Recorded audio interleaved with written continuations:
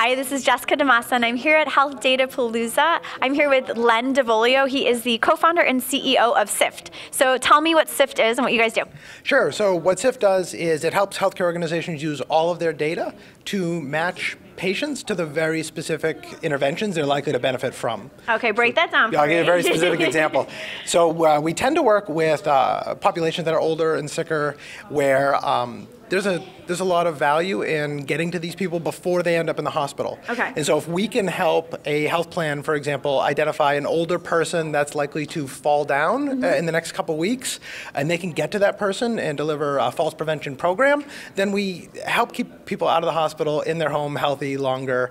And uh, because health plans are incented to keep people healthy, sure. uh, financially it pays for them to be able to sort of cut things off before they get on hand. All right, talk to me a little bit about what data you're looking at. So what data are you looking at in order to like figure out that somebody is more likely to experience a fall? Sure. So um, all health plans have traditional claims data, as mm-hmm. we know, um, but it's a very narrow view into what's happening. It's just sort of a financial transaction. They also have really rich data related to um, care management that they deliver, and so they capture this in electronic health records. Uh, sometimes we have device data, so in-home medication adherence devices, p- okay. pill boxes, scales. Uh, we've been able to use continuous glucose monitor data. Even you'd be surprised, but even uh, call center transcripts oftentimes have really rich nuggets of information that would indicate that a, a patient or a member of their family is concerned. Uh, they've either ordered equipment or they're uh, okay. uh, experiencing something in the home. And so all of this together paints a much richer picture of, of what's going on in a person's life. Mm-hmm. And we can use all of that to get the right care to the right people sooner. Okay. So I know, I mean, we all kind of want this like anticipatory, like someone to step in and like help us before we get hurt or before we get sicker. So it's like, oh, I mean, I guess what kind of barriers are you seeing amongst like either with the health plans that you're working with or the hospital systems that you're working with in terms of getting this data? And like, how are you mm-hmm. guys getting past that? Because I know people are reluctant to let go of the control over their data. So I, so first, in order to get someone to let go of control of their data, you have to present a really compelling reason. Mm-hmm. And so I think what's traditionally been the barrier is that uh, the way that most of healthcare is paid for is in a fee-for-service model. So between you know 90 and 95 percent of healthcare today, you get paid when you deliver care to somebody. So there isn't a ton of incentive to get out ahead of that or to share your data to do so. Health plans, particularly Medicaid and Medicare health plans, they get a fixed amount of money to keep people healthy. And so yeah. there's a really good business case to share data with an organization like mine that can help them get the right care to the right people sooner. And so um, there's been a lot of talk about privacy and data sharing and what a huge issue it is, and it is, but it comes back to economics. And, and if you can fight, find the right kinds of organizations and make the right business case, people are willing to share data.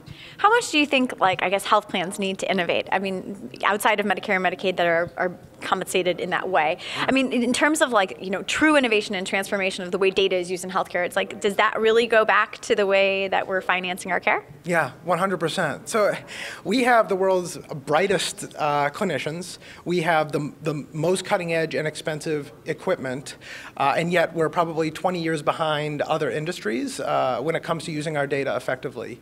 And so, there, in my opinion, there isn't a part of healthcare that couldn't benefit from using their data more effectively. Um, but with that much talent and that many intelligent people, you have to ask, well, what's the reason? Why are we so far behind? Why are electronic health records these legacy systems that only frustrate doctors and add overhead and don't make people healthier?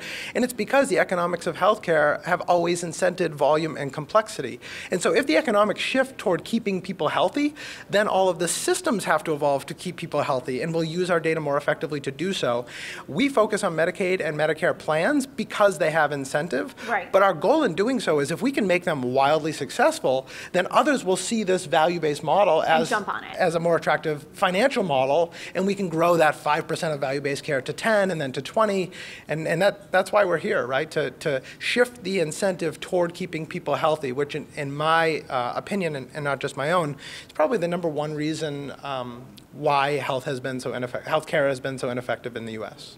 So, Len, last question for you. So, we've been asking people, you know, about their WTF health moment, which is that, but it's also what's the future. So, what's what's the future? Do you think for this? I mean, are we going to, you know, three, five years, two years from now, are we going to have this this kind of transformation in terms of the model toward this more value-based care? What do you think?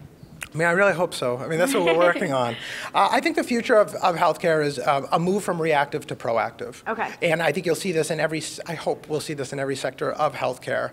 Um, we're seeing it now early in the Medicaid populations and the Medicare populations because the incentives are there. Uh, That's the irony, right? We have these beautiful steel and glass hospitals uh, that really represent uh, our image of healthcare, and yet they're barely using their data compared to this other image we have of government-sponsored healthcare and how bureaucratic and stodgy that must be.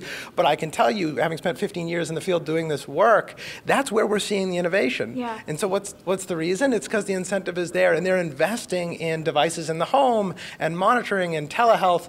And so I, I think that's the future: is moving from waiting until something terrible happens to getting out ahead of it, and that obviously involves families and patients more. Um, we are sort of served healthcare when we need it. I, I would love to see us uh, actually uh, focused on health uh, as more of a continuum. Len, thank you so much for joining us. It was a pleasure to talk to you. If you want to find out more about Cyft, CYFT.com. there you go. Yep. I'm Jessica DaMassa at Health Datapalooza. Thanks for joining us.